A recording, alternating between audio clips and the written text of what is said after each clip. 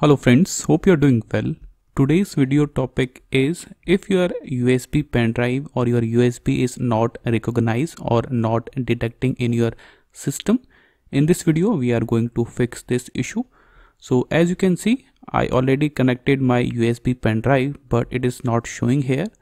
So the first step you can try is right click on your Windows icon. Then click on this option, disk management you will see this window disk management. So as you can see this is my disk 0 this is my internal hard drive of 240 GB and disk 1 is my USB pen drive of 8 GB so my pen drive is showing in disk management but it, it is not showing here. So to fix this issue what I have to do is I have to simply assign a drive letter to my pen drive. So right click on your pen drive then click on this option change drive letter and path. Now assign a drive letter. So click on add. And now you can assign any drive letter. So I will go for let's suppose J. Then click on OK. So the drive letter has been assigned. Now cut this window. Drive letter has been assigned as you can see. Now cut this window. As you can see now my pen drive is showing and all the data is remains safe. So there is no data loss at all. So this is your first step. You can try to fix this issue. Now move on to our next step. If your pen drive or your usb is not showing in disk management so the next step you can try is click on your windows icon. Now type windows powershell. You will see this option here windows powershell. So right click on it then click on run as administrator now you have to type a command to run the troubleshooter. So the command will be, so this is the command, type this command carefully, then press enter. And you will see this window hardware and devices. Click on this advanced option and make sure tick this option apply repair automatically. Tick this option then click on next. So this will diagnose your PC and this will fix your issue as well. So you have to wait for a few minutes.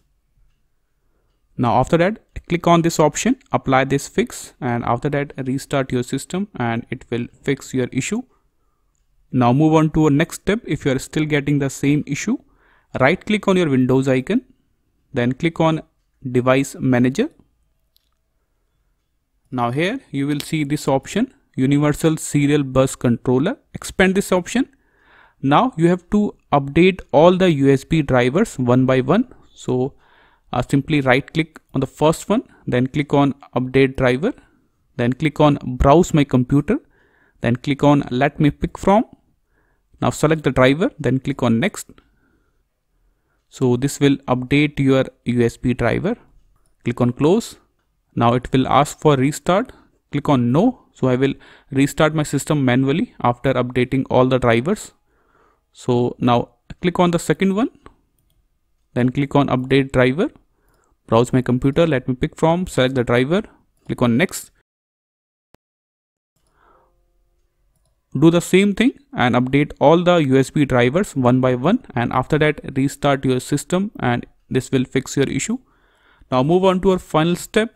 Click on your Windows icon, then click on this option settings. In this find box, type power and sleep. You will see this option power and sleep settings. Click on it. Now on the right side click on this option additional power settings. Now on the left side click on this option change when the computer sleeps. Then click on this option change advanced power settings. You will see this window. Scroll down.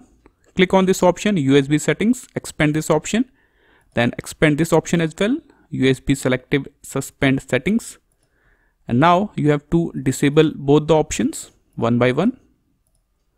Disable both the options select disable then click on apply then click on ok cut this window and restart your system. And this will fix your issue as well. So these are the steps. You can try. This is all for the video. Thank you